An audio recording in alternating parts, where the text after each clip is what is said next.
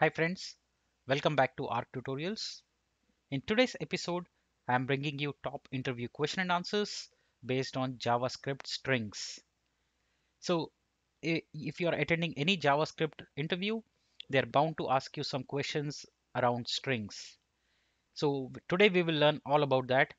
If you have any doubts, any queries, just drop them in the comment section below. I'll be happy to help you for free.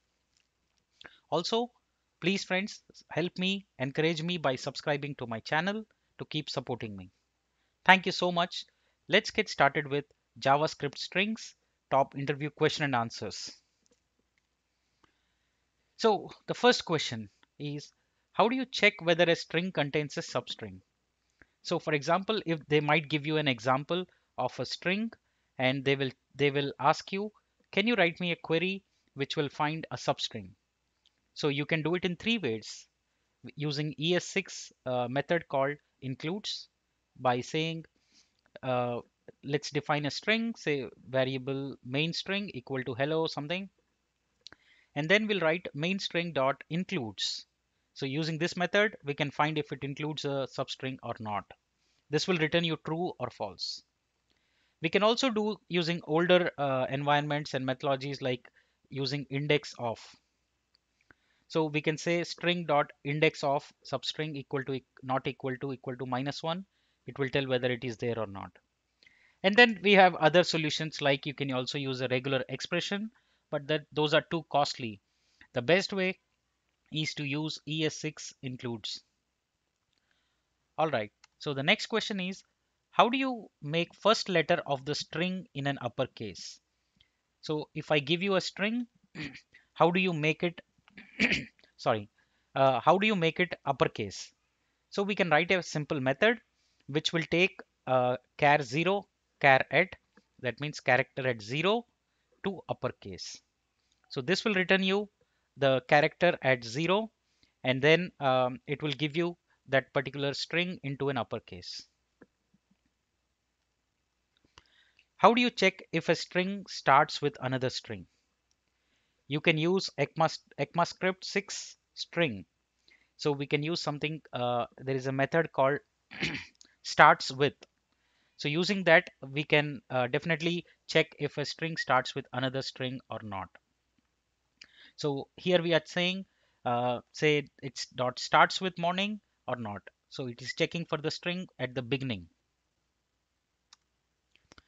How do you trim a string in JavaScript? So JavaScript provided a, a method called trim.trim using which we can trim the white spaces at the beginning or at the end. How do you define multi-line strings? So you can define multi-line strings, literals using character. So character followed by terminator, like if you see slash back uh, front slash. So this is a uh, which says that it's a line terminator. What are the strings string methods available in regular expression? Regular expressions has two string methods called search and replace. The search method uses an expression to search for a match and returns the position of the match.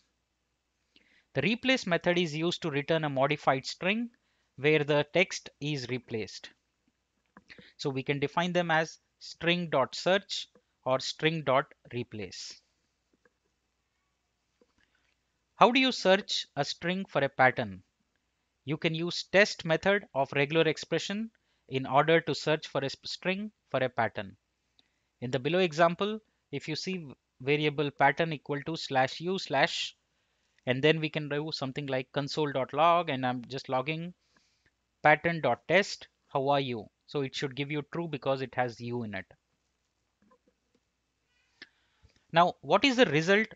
What would be the result of 1 plus 2 plus 3 in quotes? So remember, the output will be 33 because it will first do addition of 1 and 2. And since the third is a string template literal or, or you can say string, it will just concatenate it and not add it. So the value is 33. How to convert string to title case with JavaScript. So to title case, we can write a method which will take the values and probably put a dot replace uh, using dot replace the method we just saw in previous questions. And we can just put some regular expression to check and convert it into caps. now what are template literals?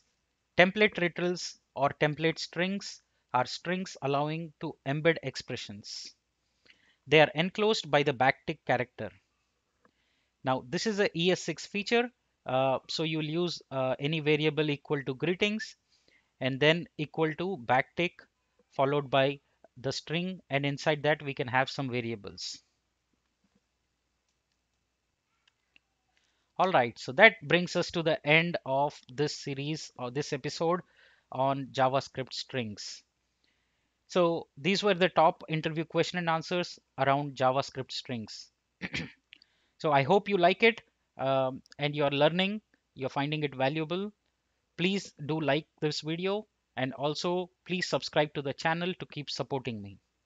I'm bringing much more episodes for you which will help you prepare for your interviews. See you in the next episode.